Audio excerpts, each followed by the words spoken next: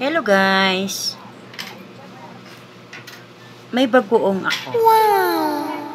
May sinamakan ako. Ah, sili na may suka. Alam niyo kung anong ulam ko? Ang ulam ko ay choran-choran. Oh, ang lalaking tilapia. Ang gusto ko sa sinabawan eh si Mister eh gusto niya ihaw. Oh. oh. Sabi ko ikaw ang gagawa ng sausawan. Yung tuyo, kalamansi, mantika. Tapos naalala ko, inihaw pala. Eh, ang gusto kong sausawan ito, my God. Tsaka, ay, may kalamansi. May kalamansi. Eh, kaso lang, nailagay ni Mr. dun sa toyo. Ito na lang.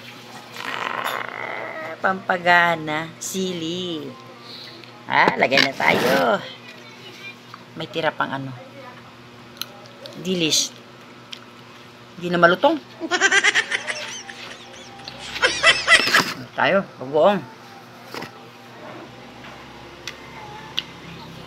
Sarap to. Wow. Kahit isabaw mo yan. Isabaw mo sa kanin. Ay, kaso lang kunti lang yung kanin ko. Hindi ako pwede magparami.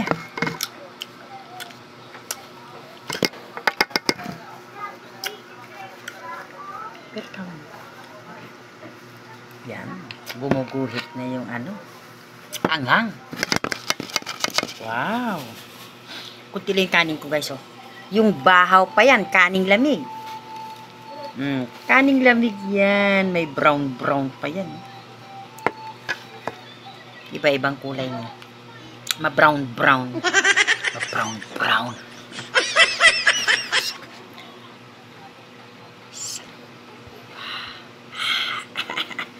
Ang init ng panahon. Anong connect ng init ng panahon? ah. Tanggalan natin to ng ano. Ah, ay, talaga. Ito. Wow. Mainit. Kain, kain. Hmm. Lumalagotok.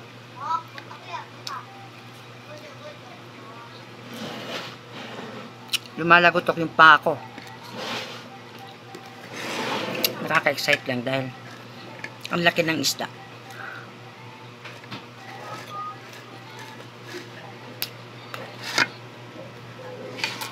Ang laki na talaga. Laki.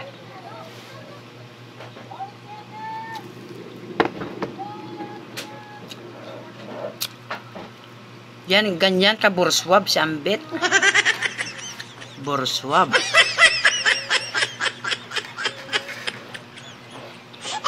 Nag naimimas pa yun ko At si bagoong ko dati kamatis na. Mmm.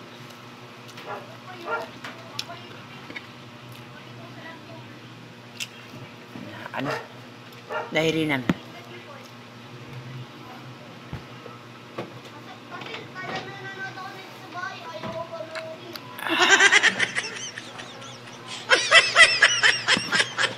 Ah.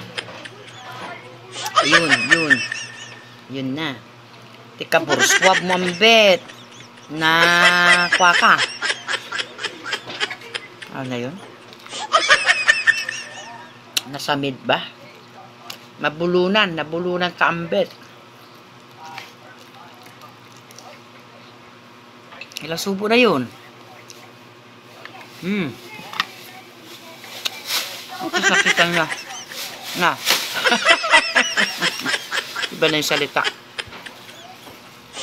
Okay guys. Nakita nyo yung ulam ni Ambet. Wala, nabubulo na si Ambet. Epekto ng init ng panahon. Ah! Wala, sadyang ganyan ka na. Sadyang ganyan na si Ambet. Bye-bye guys.